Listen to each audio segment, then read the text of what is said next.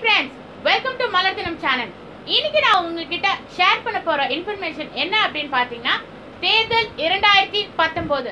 இது எல்லாமே நீங்க தெரிஞ்சுக்க வேண்டிய விஷயம் என்ன அப்படின்னா கண்டிப்பா நம்ம எல்லாருமே ஓட்டு போடணும் வாக்களிப்பீர். ஆனா அதுக்கு முன்னாடி சில தகவல்கள் நான் உங்ககிட்ட ஷேர் பண்ணணும் அப்படின்னு நான் நினைக்கிறேன். அது என்ன அப்படின்றத இந்த வீடியோல நீங்க பார்க்க போறீங்க. இந்த வருடம் நடக்க போற பதினேழாவது மக்களவை தேர்தல் அப்படின்னு பாத்தீங்கன்னா தொண்ணூறு கோடி மக்கள் இந்த ட்ரிப்பு வாக்களிக்க போறாங்க. இது உலக வரலாற்றையே இது ஒரு மிகப்பெரிய தேர்தலா நம்ம எதிர்நோக்கி இருக்கோம். இது என்ன அப்படின்னு பாத்தீங்கன்னா யூரோப் போன்ற ஆசிய கண்டங்கள் மக்கள் தொகையை விட இது ரொம்ப ஒரு பெருன்றது நம்ம வந்து ஒரு சாதாரண ஒரு எண்ணிக்கை கிடையாது. இந்த வருடம் பாத்தீங்கன்னா எட்டு லட்சத்தி நாற்பத்தி ஆறாயிரம் புதிய வாக்காளர்கள் இந்த ட்ரிப்பு வாக்களிக்க போறாங்க.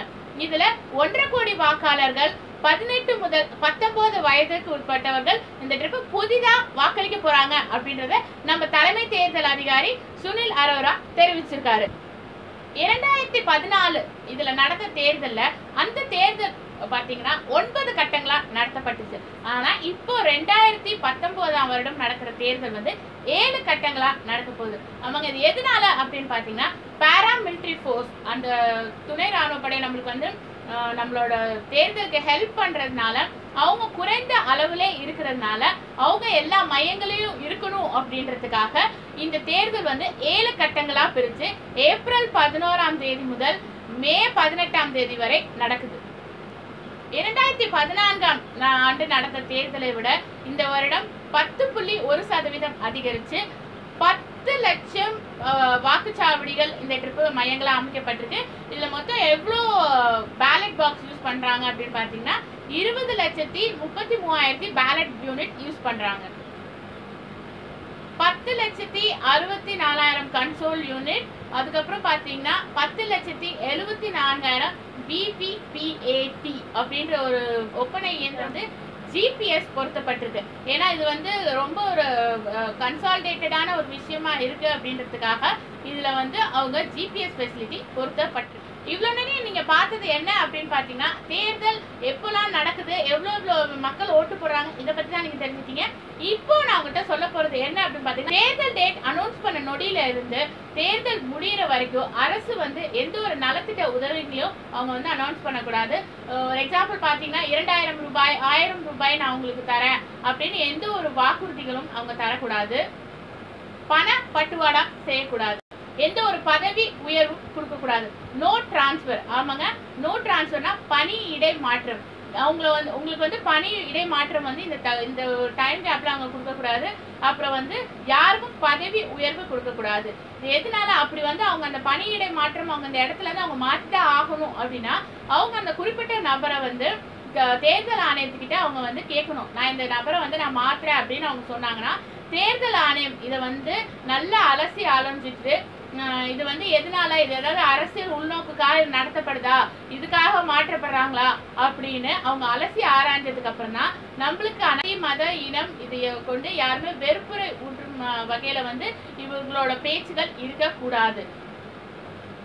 கோவில் மசூதி தேவாலயங்கள். இதுக்கு முன்னாடி யாருமே தேர்தல் பிரச்சாரமோ தேர்தல் பரப்புரையோ நடத்த கூடாது வாக்காளர்களுக்கு பணம் கொடுக்க கூடாது அது மட்டும் இல்லாம இப்ப எலெக்ஷன் டேட் அன்னைக்கு வந்து உங்க ஏரியால வந்து ஒரு பஸ்ஸோ இல்ல ஒரு ஆட்டோ வச்சு நீங்க வாக்களிக்கும் வாக்காளர்களை உங்களை வந்து அவங்க ஏத்திட்டு போய் அந்த குறிப்பிட்ட ஒரு வாக்குச்சாவடியில விட்டு அவங்க வாக்கு நீங்க போட்டுட்டு திருப்பி உங்களை கொண்டாந்து விடக்கூடாது. நடத்தை விதிகள் மிக முக்கியமான விதிகள் என்ன அப்படின்னு பார்த்தீங்கன்னா சட்டசபை அரசு அலுவலகங்கள் ரோட் பேனர்ஸ் போஸ்டர்ஸ் இது எல்லாத்துலேயுமே வந்து அரசியல் தலைவர்களோட படம் இடம்பெறக்கூடாது. பண பட்டுவாடா செய்யக்கூடாது. உங்க ஓட்டுக்காக அவங்க வந்து வீடு வீடா வந்தோ இல்ல ஓ- ஏதோ ஒரு ரிசோர்ஸ் மூலமா உங்களுக்கு பண பட்டுவாடா செய்யக்கூடாது. சரிங்களா? இப்ப சிஎம் வந்து ஒரு தேர்தல் பரப்புரை ஒரு இதுக்காக போறாரு அப்படின்னு பாத்தீங்கன்னா அப்போ அவரோட சொந்த வாகனத்தை தான் பயன்படுத்தணும் விட அரசு கொடுத்த வாகனங்களை பயன்படுத்த கூடாது ஒரு பொதுக்கூட்டம் நடக்குது இல்ல வந்து பொதுக்கூட்டம் நடக்கும் மைதானம் இல்லை வந்து அரசு தங்கும் விடுதிகள் அப்படின்னு இருந்துச்சுன்னா இதை வந்து ஆளுங்கட்சியினர் மட்டுமே பங்கு பெறாம எல்லா வாக்கு அதாவது யாரெல்லாம் வந்து எலெக்ஷன்ல நிற்கிறாங்களோ அந்த கேண்டிடேட்ஸ் எல்லாருக்குமே அவங்க பகிர்ந்து அதை வந்து அலாட் பண்ணி யூஸ் பண்ணணும். அவங்களோட ப- இதை வச்சு பயன்படுத்தக்கூடாது அப்படின்ற ஒரு விதியும் இருக்கு. உங்களோட கட்சி மீட்டிங்ல வந்து நீங்க லவுட் ஸ்பீக்கர் யூஸ் பண்றீங்க அப்படின்னா அதுக்கு முன்னாடியே நீங்க தேர்தல் ஆணையத்திட்ட பர்மிஷன் வாங்கணும். இரவு பத்து மணிக்கு மேல நீங்க கேம்பெயின் நடத்தக்கூடாது. அது மாதிரி உங்களோட ஆஹ், இது நடக்கிறப்போ நீங்க வந்து யாருக்கும் மது விநியோகம் பண்ணக்கூடாது.